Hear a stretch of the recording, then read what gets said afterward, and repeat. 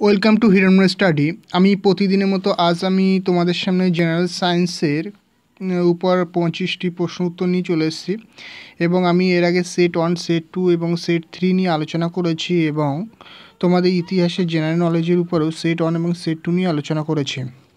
তো প্রত্যেকটি প্রশ্ন তোমাদের কম্পিটিটিভ এক্সামের জন্য খুবই ইম্পর্টেন্ট হয়ে যাবে এবং আজ যে পঁচিশটি প্রশ্ন উত্তর নিয়ে আলোচনা করব এবং প্রথম প্রশ্ন যেটা দেওয়া আছে যে দ্রাব্যতার এককে আমি প্রত্যেকটা প্রশ্ন দুবার করে রিপিট করব, তোমরা অ্যান্সার দেওয়ার চেষ্টা করবে।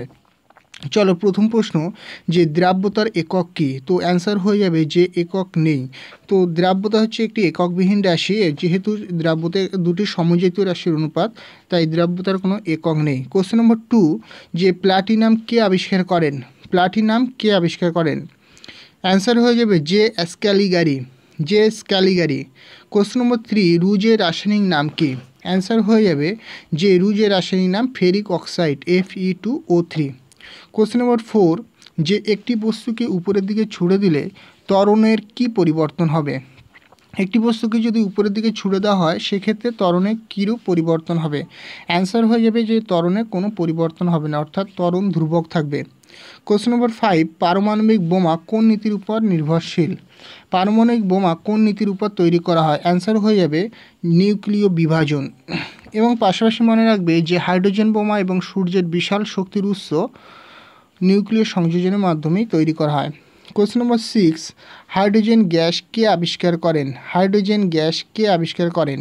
অ্যান্সার হয়ে যাবে হেনরি ক্যাভেন্ডিস এবং হাইড্রোজেন গ্যাস হেনরি ক্যাভেন্ডিস এবং অক্সিজেন গ্যাস আবিষ্কার করেছিলেন Priestley question number seven ball pen কোন নীতির উপর নির্ভরশীল? বল পেন কোন নীতির উপর নির্ভরশীল? অ্যান্সার হয়ে যাবে কৌশিকতা এবং পৃষ্ঠটান। কোশ্চেন নম্বর এইট সবচেয়ে হালকা ধাতু কোনটি? সবচেয়ে হালকা ধাতু কোনটি? অ্যান্সার হয়ে যাবে লিথিয়াম এল আই যার সংকেত। এবং পাশাপাশি মনে রাখবে সবথেকে তরল ধাতু। তরল ধাতু সবথেকে নয়, তরল ধাতু হচ্ছে হাই পারদ, ঠিক আছে? যার সংকেত H G question number nine সবচেয়ে ভারী অধাতুর নাম কি? সবচেয়ে ভারী অধাতুর নাম কি? অ্যান্সার হয়ে যাবে আয়োডিন যার সংকেত I two question number ten সৌরকোষে কোন পদার্থ ব্যবহার করা হয়?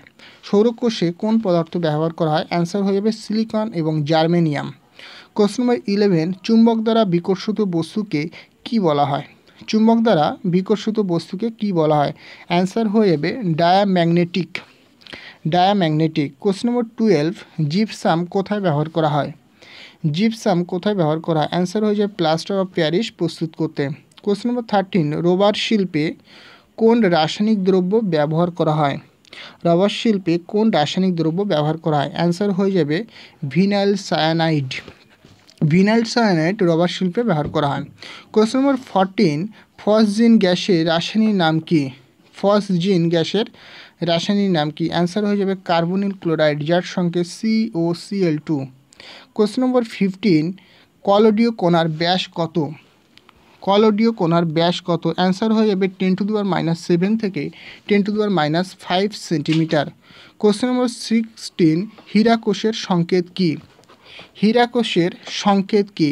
অ্যান্সার হয়ে যাবে F E S O four সাতনু জল, অর্থাৎ ফেরাস সালফেট সঙ্গে সাতনু জল হচ্ছে হীরাকোষের সংকেত। কোশ্চেন নম্বর সেভেন্টিন যে আধুনিক দীর্ঘ পর্যায় সারণীতে কয়টি মৌল আছে? আধুনিক দীর্ঘ পর্যায় সারণীতে কয়টি মৌল আছে? অ্যান্সার হয়ে যাবে ওয়ান জিরো নাইন অর্থাৎ একশো নয়টি মৌল আছে।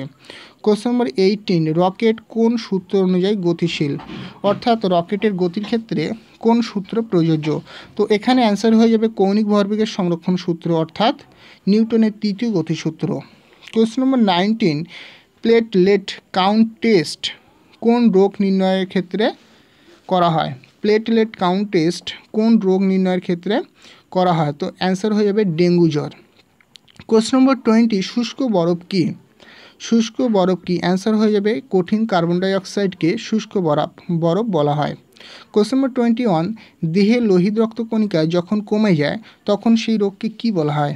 দেহে লোহিত রক্তকণিকা কমে গেলে সেই রোগকে কী বলা হয়? এখানে বেড়ে গেলে দেওয়া আছে। তো বেড়ে গেলে বলা হয় যে পলিথাইসেমিয়া পলিসাইথেমিয়া এবং কমে গেলে হয় অ্যানিমিয়া। পাশাপাশি মনে রাখবে যে লোহিত রক্তকণিকা কমে গেলে হয় অ্যানিমিয়া অ্যানিমিয়া এবং বেড়ে গেলে হবে polycythaemia. Question number twenty three রামধনুর বহিরাংশে রং কেমন? রামধনুর বহিরাংশে রং কেমন? অ্যান্সার হয়ে যাবে লাল। কোশ্চেন নম্বর টোয়েন্টি ফোর যে থোরিয়াম কে আবিষ্কার করেন? থোরিয়াম কে আবিষ্কার করেন? অ্যান্সার হয়ে যাবে জে বার্জেলিয়াম। যে বার্জিলিয়াম থোরিয়াম আবিষ্কার করেছিলেন। কোশ্চেন নম্বর টোয়েন্টি ফাইভ যে প্রসমন দ্রবণে মিথাইল অরেঞ্জ মিথাইল অরেঞ্জের বর্ণ কেমন? প্রসমন দ্রবণে মিথাইল অরেঞ্জের বর্ণ কেমন? অ্যান্সার হয়ে যাবে কমলা। এই ছিল তোমাদের কম্পিটিটিভ এক্সামের জন্য টোয়েন্টি ফাইভ প্রশ্ন উত্তর এবং প্রত্যেকটি প্রশ্ন খুবই ইম্পর্টেন্ট এগুলো প্রত্যেকটা তোমরা প্র্যাকটিস করতে লাগো এবং এত সময় হিরোন স্টাডির সাথে থাকার জন্য অনেক অনেক ধন্যবাদ। এরপর দেখা হবে পরে ভিডিওতে Thank you so much.